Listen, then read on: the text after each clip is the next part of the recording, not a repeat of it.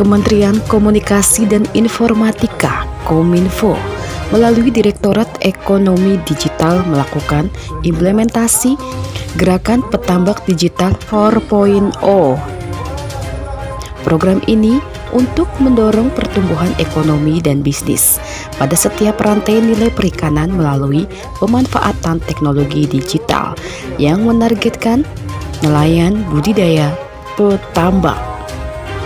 Pada tahun 2022 ini, program tersebut dilaksanakan di beberapa kabupaten, yaitu Kabupaten Jembrana, Kabupaten Cilacap, Kabupaten Cirebon, dan pada gerakan petambak digital 4.0 di Kabupaten Cilacap ini telah diimplementasikan sejak pertengahan tahun 2022 di tiga desa, di antaranya Desa Karangtawang, Kecamatan Nusawungu, Desa Pegubugan, Kecamatan Binangun, dan Desa Bunton, Kecamatan Adipala. Kegiatan ini difokuskan pada pemanfaatan teknologi digital dalam rantai nilai teknik pemeliharaan dan budidaya melalui pemanfaatan teknologi Internet of Things atau IoT melalui alat pengukur kualitas air yang dapat memberikan informasi secara real time seperti temperatur, pH, oksigen do double, parameter-parameter tersebut dibutuhkan untuk mengetahui kebutuhan tambak secara lebih presisi, sehingga mampu meningkatkan efisiensi dan produktivitas hasil panen.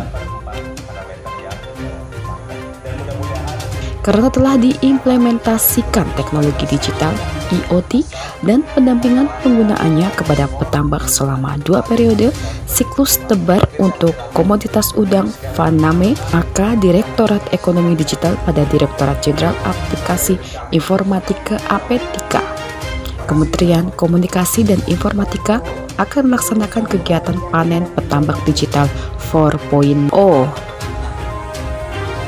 Panen Petambak Digital 4.0 ini terselenggara atas kerjasama yang baik dari berbagai stakeholder seperti Kementerian Kelautan dan Perikanan, pemerintah daerah akademisi, startup digital, dan peran serta aktif dari petambak daerah setempat.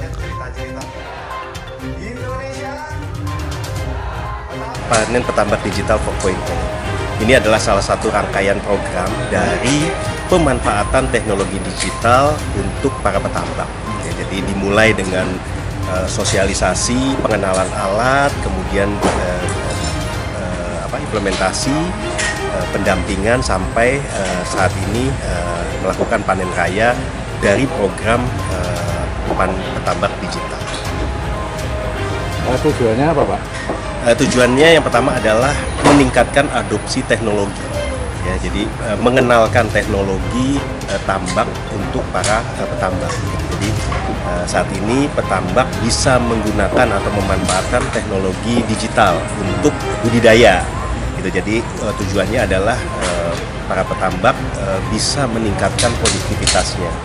Juga tingkat kematian udang e, e, dan lain-lain itu bisa e, di e, apa namanya?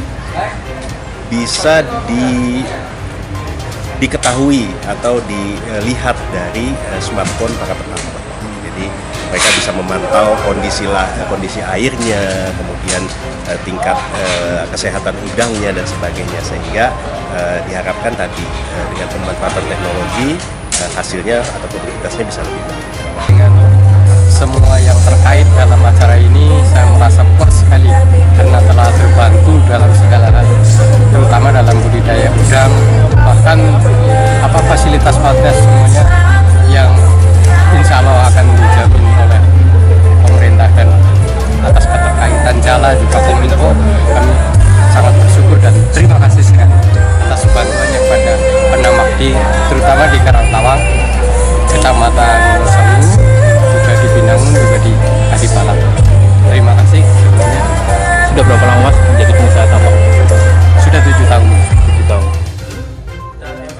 acara panen petambak digital 4.0 di Kabupaten Cilacap dengan menggelar talkshow bersama kelompok petani tambak di tiga desa dan narasumber Wijayanto, Ketua Tim Transformasi Digital Sektor Pertanian, Maritim, dan Logistik Kemkom Info, Supito, Kepala Balai Besar Perikanan Air Payau Jepara Indarto, Kabit Perikanan Budidaya Dinas Perikanan Cilacap, dan Renalvi Budi Raharjo, Vice President Sustainability Jalatek.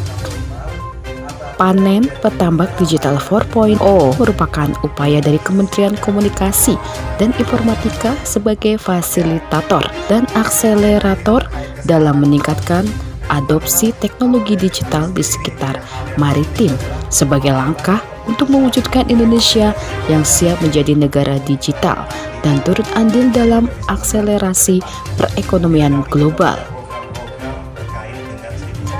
Di Kabupaten Cilacap, Sartono PNV Channel memberitakan.